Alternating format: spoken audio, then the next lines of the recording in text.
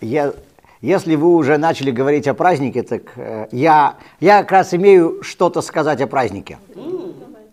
Э, я, я не из Одессы, но я имею что сказать. Их есть у меня? И, и, их есть у меня пару слов, да. Да. Э, одесситы всех стран, не прибедняйтесь. Yeah.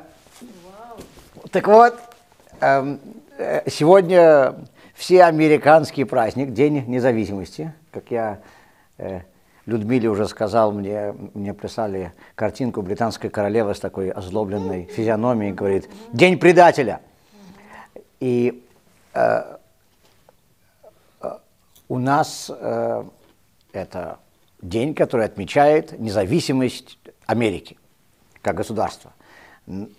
И Ребе, Любавичский Ребе, э, говорил об этом дне, и он говорил о, об Америке, об основании Америки, э, совершенно э, в, э, в ином ключе, чем сегодня в западном мире принято говорить.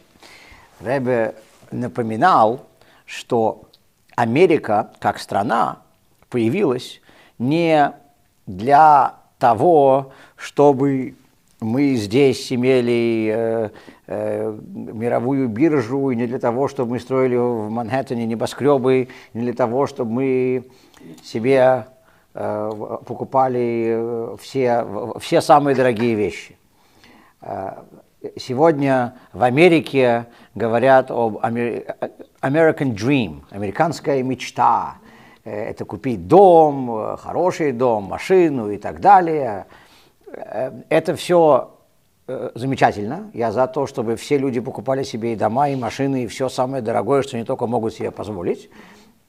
Но э, Рэви напоминал, напоминал, что это совсем не то, для чего Америка была основана. Америка была основана э, теми, кто приехали сюда из Голландии, которая сейчас называется Нидерландами, и, и э, это были люди, которые искали религиозную среду. В Голландии тех лет была эпоха плюрализма, э, полной свободы. Религиозных притеснений в Голландии не было. Но чего в Голландии не хватало, это общество, которое было бы э, построено на религиозных основах, и, соответственно, э, люди, которые жили там, хотели иметь свою собственную маленькую общину, где они бы исповедовали свою религию, они бы никого не трогали, но чтобы их не трогали тоже – и они не хотели, э, чтобы перед их глазами маячили или чтобы их заставляли что-то делать не то. Они хотели жить, как они живут. И, и это были первые, э, первые э, пионеры, которые приехали сюда в Америку, Pilgrims. И, и потом Америка была основана именно на религиозной свободе. Америка была, была основана как религиозная страна. Теперь, мы, религиозные люди, настолько толерантны, что мы даже принимаем людей, которые не верят ни в какую религию. И это замечательно.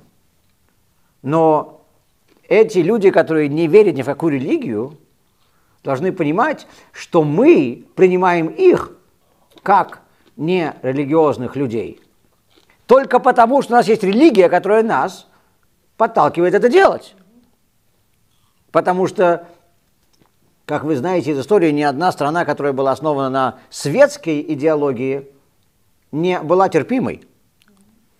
Э, и, э, то есть, сегодня в Европе есть целый ряд стран, жители которых э, в своем большинстве, может быть, даже э, считают себя атеистами, нерелигиозными и так далее, но эти страны все равно основаны на культуре, которая была пропитана двумя тысячелетиями религий.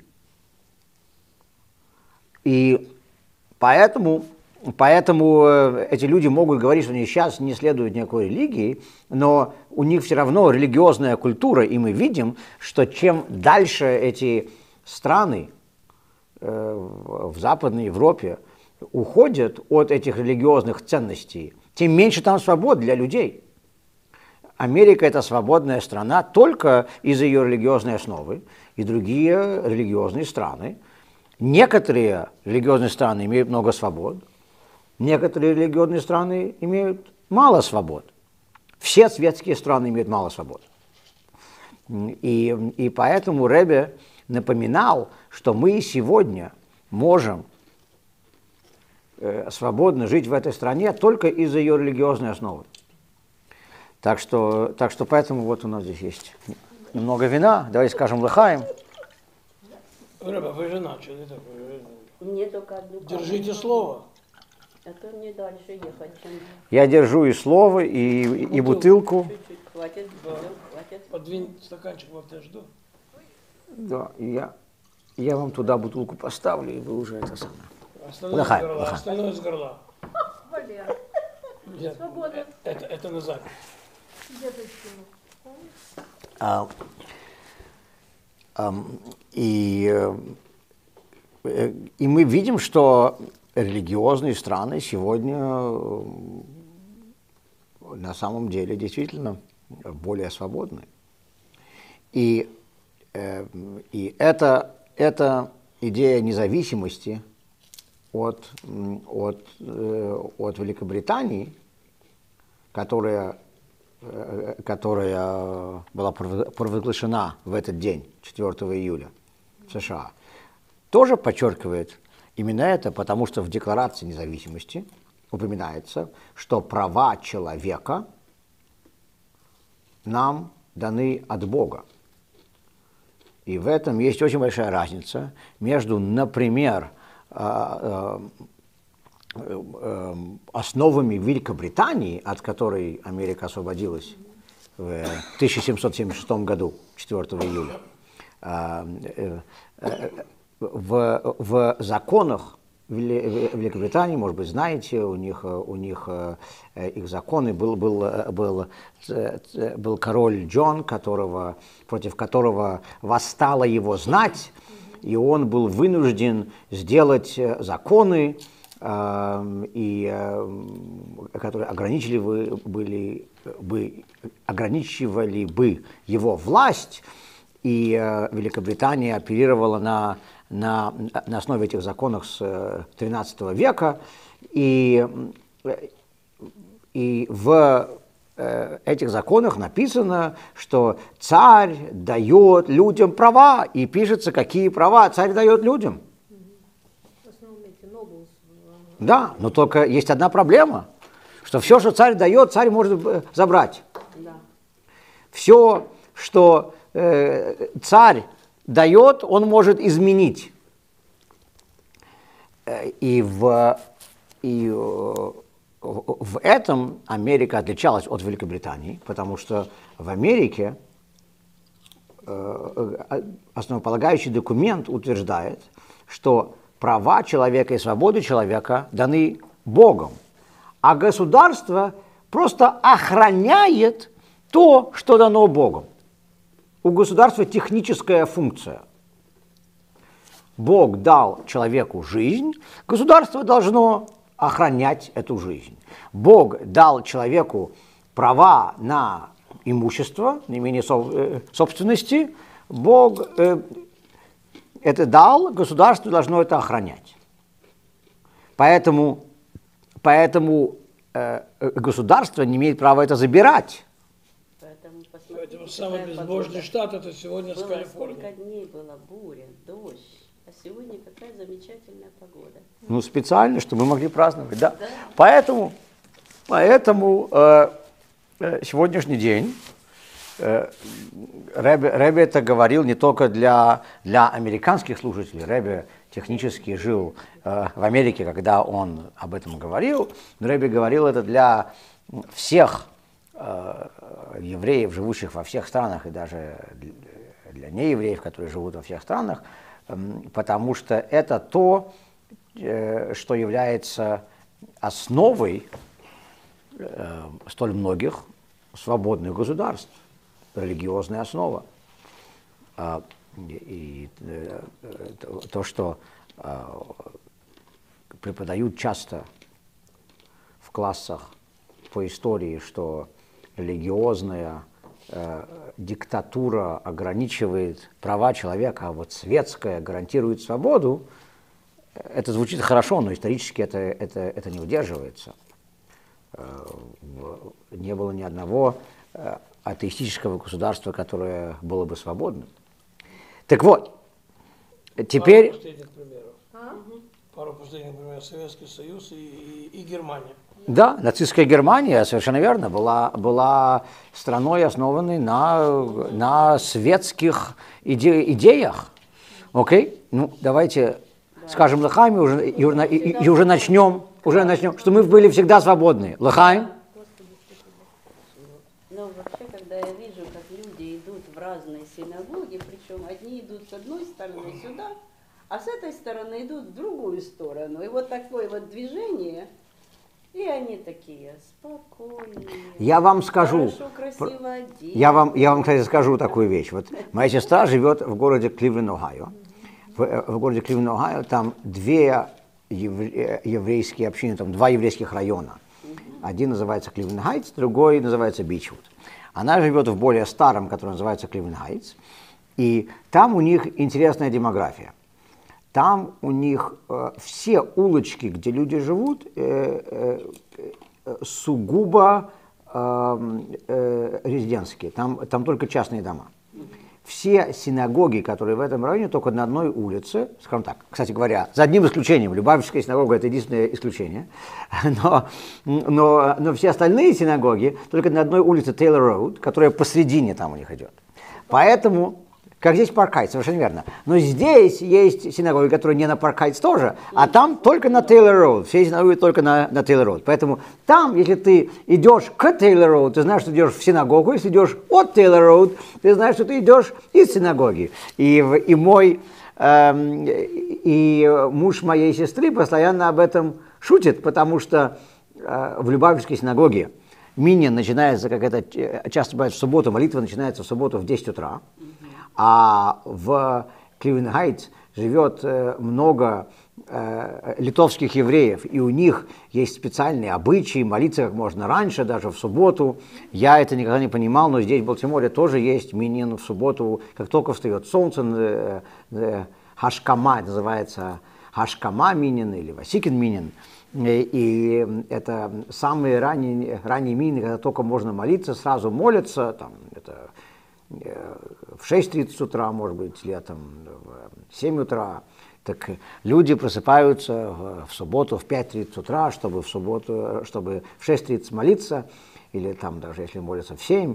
Э, Когда они заканчивают молитву, они идут домой, уже после кидуша, и они встречают моего, моего brother-in-law Хершела, мужа моей сестры, который идет в синагогу. Любавича. Да, он идет в синагогу, они идут из синагоги. И так как, и так как синагоги только на одной улице, то все хорошо понимают, куда он идет. Вот, так что как Да, раз... Я, я, с тобой. Что? Да, правильно, правильно, Мы правильно. тоже понимаем, когда мы- Да, давай. По второму, правильно, по Когда второму мы уровню. иногда гуляем, мы тоже понимаем, потому что там сефарская, там есть люди, которые живут за Пархайц, и они идут, вот эта синагога, которая идет вот там, ну, которая близко возле Шаперс бывшей, новая, они идут туда, потому что вот эта улочка, она идет прямо туда, не выходят. Эти идут там Гурали. А? То есть, не, не, Не, это рядом Шапорс, это Рабай Тайхман, Огел Моше. Это, это, вы, вы же понимаете, Людмила уже всех отследила. Окей, давайте, давайте заниматься, да, давайте поговорим хоть немножко о недельной главе Торы. И недельная глава Торы – это глава Пинхас. Э, В самом конце прошлой недельной главы говорилось о том, как э, евреев пытались соблазнить. Был официальный проект, компания народа Моав, которые решили справиться с еврейским вопросом, вы знаете, что еврейский вопрос стоял на повестке дня еще с тех пор, им нужно было решить еврейский вопрос. Но они понимали, что им это просто так не удается, потому что столько наций, столько народов пытались уже атаковать евреев, и все безуспешно. Они понимали, видите, сегодня люди э, неверующие, глупые, они, э, видя, что евреев пытались уничтожить уже столько веков, столько тысячелетий, все еще не смогли это сделать. И эти Гитлеры, и, э, и, и остальные, и Хмельницкий, кто угодно, они, они думают, что вот наши, наши предки, которые намного могучее нас и сильнее нас, это не смогли сделать, а вот мы сможем уничтожить евреев. Но тогда моавитяне, они были умнее. Они понимали, что, смотрите, э, все пытаются уничтожить евреев, и ни у кого не получается. Значит, в этом что-то есть. Должна быть этому причина. И поэтому э, они поняли, что у евреев есть крыша. Сверху. Да. Не спрашивает, это папины родственники. Да, совершенно верно. У евреев есть крыша. Э, и и евреям кто-то помогает сверху. Там у них Карлсон, который живет на крыше. Э, Карлсон, я не имею в виду, я не имею в виду Такер Карлсон. Э, и, и у них, у них Карлсон, который живет на крыше, у них кто-то, кто им сверху помогает. И они стали э, наводить справки, кто же это им сверху помогает. И они услышали о Боге, о едином Боге, который, э, э, который э, дал евреям Тору, и они теперь должны слушаться его, и они должны исполнять законы Торы. Так моавитяне сразу хотят узнать, ху, секундочку, так что же этот Бог им сказал? И они узнают, что одна из вещей, которых Бог очень э, одна из вещей, в отношении которых Бог очень строго очень строго относится к людям, это половые отношения, интимная жизнь. И они сказали, секундочку, э, это легко исправить. Запросто. Да, мы пошлем дам легкого поведения в стан евреев, и э, мы позаботимся о том, чтобы еврейские парни начали сразу нарушать основные законы, которые Бог хочет, чтобы те соблюдали. И, к сожалению, мавитяне оказались таки да. Мавитяне оказались умнее, чем э, все остальные. Все остальные народы, которые пытались атаковать евреев. И э, мы знаем, что э, неприличное поведение среди еврейских мальчиков стало уже очень популярным. У них оказался свой собственный Голливуд и селебрити, звезды, которым все поклоняются, которые были первые в рядах самого аморального поведения, как и сегодня в Америке. То есть они осуществили этот проект? Да, они, они осуществили этот проект. Э, э, женщины с пониженной социальной ответственностью были, были, были, были, были посланы в еврейский стан. Один вопрос. Для- Меня там не было, я деталей мало знаю, извините. Детали- Извините. Детали я могу сам написать. Ну. Я могу додумать.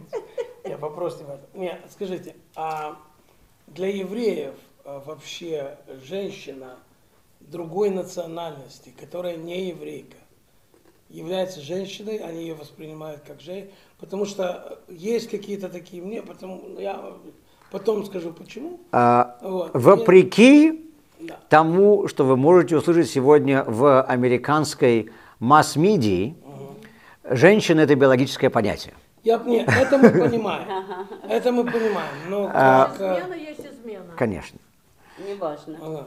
Теперь, не теперь, это не а, Не, не, когда не измена. Тора запрещает А, половые отношения с любой женщиной, которая не является твоей женой. А, Валера, если вы надеялись на что-то иное, я вас Не, должен не, не, не, не, огорчить. не надеюсь, наоборот. Наоборот, я хотел... Я вас должен огорчить. Я хотел утвердить, что все классно. Да, да. Не, Да. я теперь, теперь я, Теперь. я, теперь я. Теперь, Думаю, а то я всю жизнь, опять же, так это... окей. Так вот, Сплю мы, и сплю. А здесь, оказывается, мы- по-другому. А что, так можно было?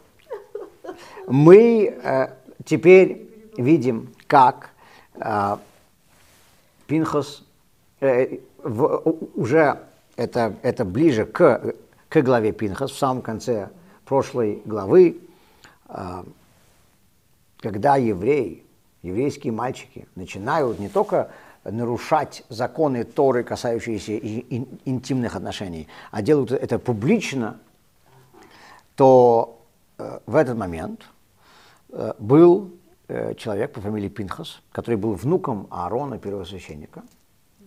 И он, увидев все это, подходит к Моисею и говорит, нам, нам нужно что-то по этому поводу делать.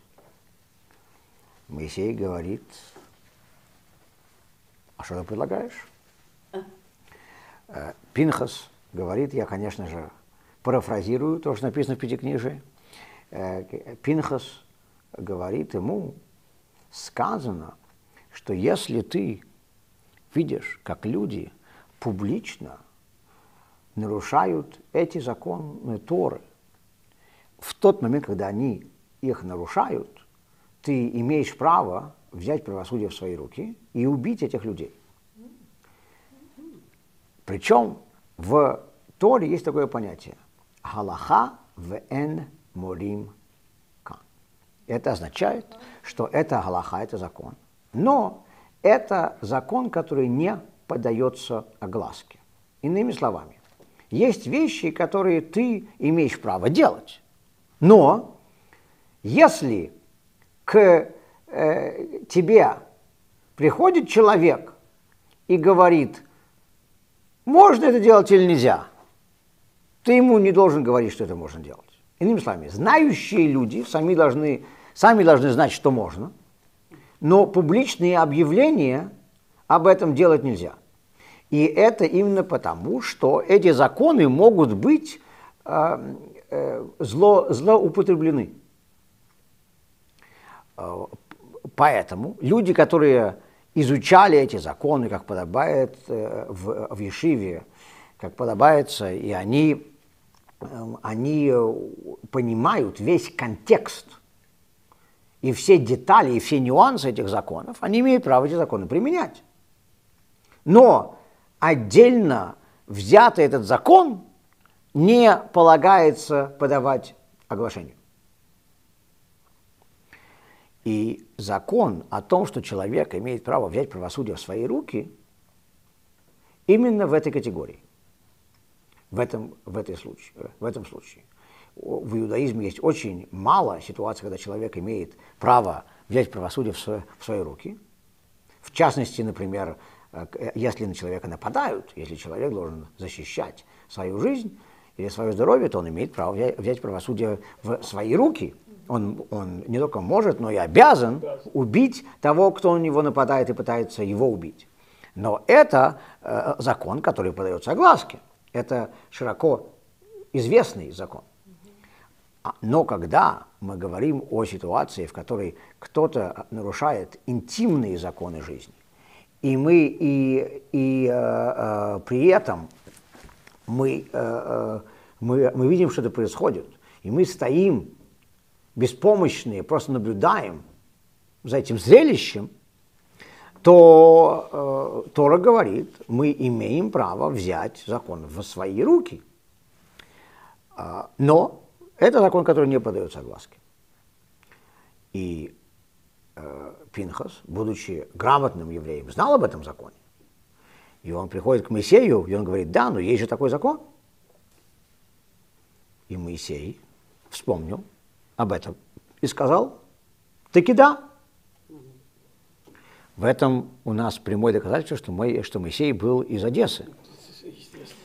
Э, Моисей говорит ему таки да, но Моисей сказал ему другой известный закон, известное правило.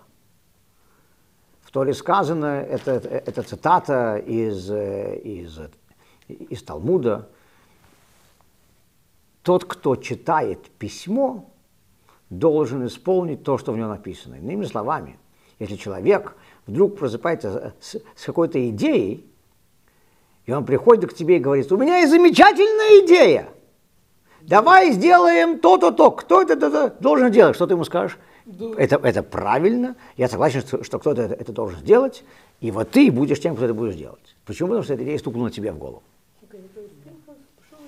И Пинхас поэтому услышал от Моисея, что Моисей с ним соглашается, но Моисей говорит, что он должен сам это исправить.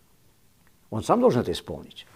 И тогда Пинхас идет, и он убивает этих э, людей, которые были в, в момент их интимных отношений. Он, он их прямо, э, прямо там убивает. И сказано, что для Пинхаса это было великой опасностью, потому что, как мы знаем, э, человек, который э, был в процессе интимных связей с этой женщиной, был одним из э, видных еврейских э, Лидер. лидеров. Да. Да, и, э, и э, за ним шло много последователей. Он был популярный. На, на, на Инстаграме у него были миллионы последователей. Подписчиков. И подписчиков, да. Э, э, на Твиттере были, да, правильно, на Твиттере у него, у него было много последователей, а на Инстаграме было много подписчиков. И, и, и на Твиттере у него даже был блудчак, и, за который он платил 8 долларов. Э, и исправно платил. 8, 8 на Твиттер и еще 8 Мне. На, налево. И, и, вот, и, и, и поэтому, и поэтому э, в Э, э, в нашей уже недельной главе сегодня говорится, что Бог благодарен Пинхасу за то, что он сделал. Э, и мы видим, что Пинхас рисковал своей жизнью. Пинхас мог быть за, за это убитым, потому что Эм, все те, кто поддерживали этих э, именитых евреев, которые занимались подобными вещами, э, были готовы растяжать Пинхаса. Его спасло только чудо. Пинхас жертвовал жизнью, когда он шел на это. Но он был готов это сделать ради Бога, ради Торы. Но это, это было уже еще в пустыне? Это еще в пустыне, конечно, это было еще в пустыне. Вопрос можно? Да. Ну, то, что написано, мы понимаем, мы читаем и, и воспринимаем это как, как, как данные, да, это как, как условия задачи. А где, а как вообще по жизни, если это было в жизни, вот, вот если вот сегодня, как мы знаем, что Пинхаса намерения были именно такие?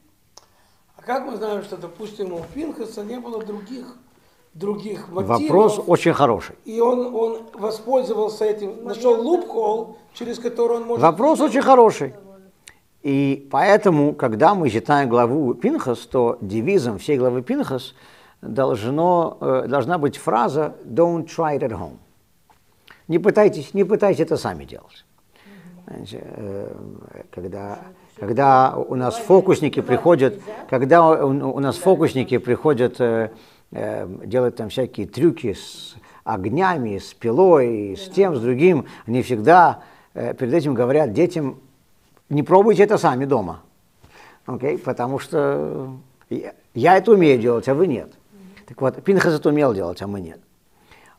Когда э, мы говорим о мотивации Пинхаса, то действительно у нас не было бы и не может быть никаких внутренних э, знаний, никакой внутренней информации э, о его мыслях и намерениях. И единственное, откуда мы знаем о его мыслях и намерениях, это от Бога в Торе. И Бог наверняка знал его мысли и намерения. Если бы его мысли и намерения были бы иными, если бы он бы совершал то, что он сделал из шкурных интересов, то наверняка ответ свыше был бы тоже другой. И ответ был таким, какой он был, только из-за того, что именно Пинхас это делал во имя Всевышнего. И Пинхас был спасен чудесным образом только потому, что у него были стопроцентно чистые намерения. Но это правда, мы не можем это знать, и мы не могли бы это знать, если бы в Торе это не было, не было сказано. Но тогда... Подожди, но это, но, но тогда, а, давайте тогда, тогда, ну, грубо говоря, таких миллион э, было потом в истории разных вариантов, например, знаю, охота за ведьмами, как их здесь вот ловили, они себе на себя брали, что они там э, против Бога, и они их сжигали, топили и так далее. Да. Или, или тот же, ну, многие-многие вещи, они просто... Ну, ясновидцев, да, как и, инквизиция, э, как и, э, э, но, но ясновидцев так же, как и очевидцев, во все века сжигали люди на кострах. Да, да.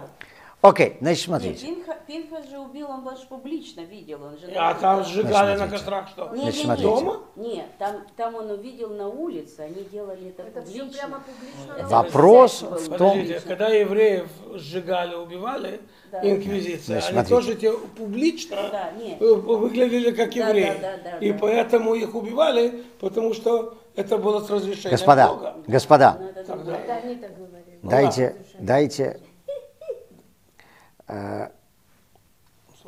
дайте мне сказать пару слов здесь. А, хоть немного, чуть-чуть. Э, Я долго не буду. Я давай. долго не буду. Окей. Э,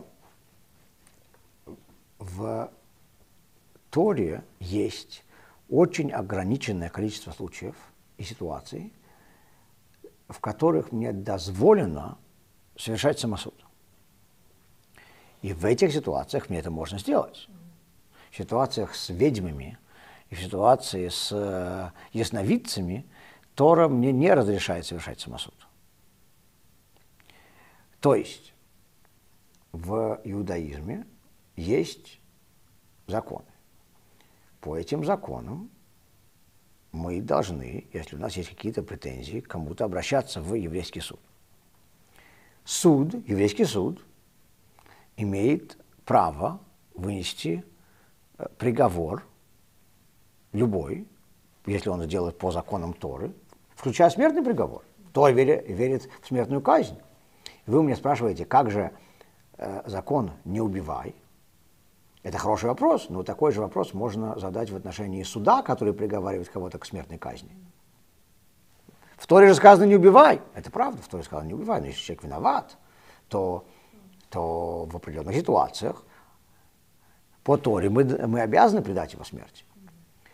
Дело в том, что есть очень узкая категория э, ситуаций, в, в которых мы имеем право предать человека смерти даже без суда. В частности, самозащита, которую мы упомянули до этого, это одна из.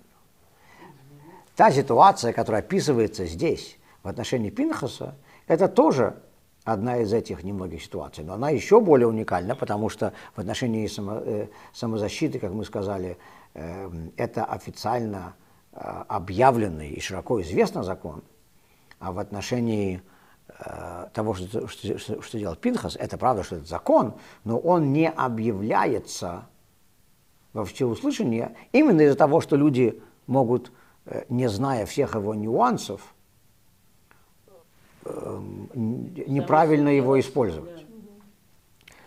Э, Поэтому, э, когда Пинхас совершил этот акт героический, то Бог его потом награ- э, не только э, поощрил, но и наградил. И вот это вот интересная вещь. Мы знаем, что Пинхас был внуком первосвященника Аарона. все дети и внуки первосвященника Аарона были коганим священниками, за исключением самого Пинхаса. Пинхас, да, Пинхас, того, как ему Пинхас да, было. родился до того, как Аарона назначили первосвященником.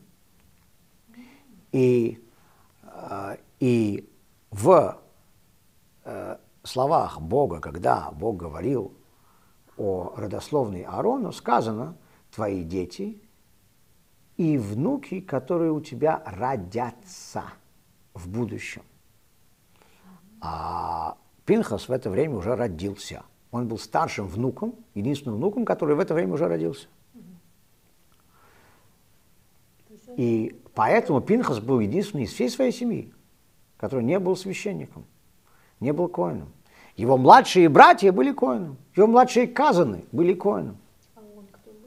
Его отец был коином, а он был никто.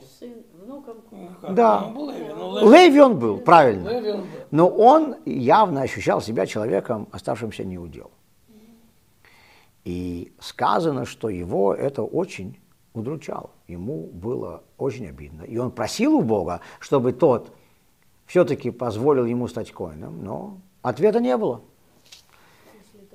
Теперь, после того, что произошло здесь, Бог говорит, я, я теперь назначу Пинхаса тоже коином, как и вся его семья, в награду ему.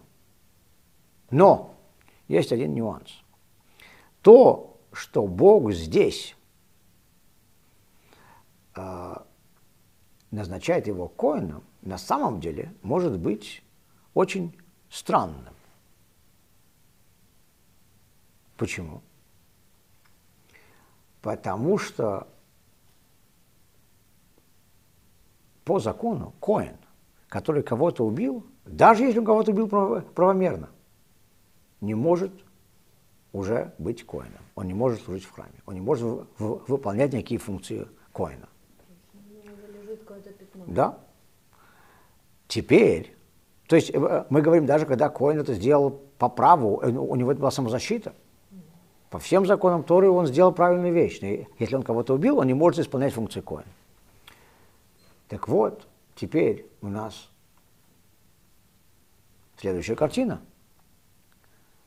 Пинхас хочет быть Коином. У него есть надежда, что, может быть, Бог еще как-нибудь смилостивится над ним, изменит свою позицию, сжалится, ответит на его молитвы. Может быть, он как-нибудь заслужит это каким-то образом. Он на это надеется. Но,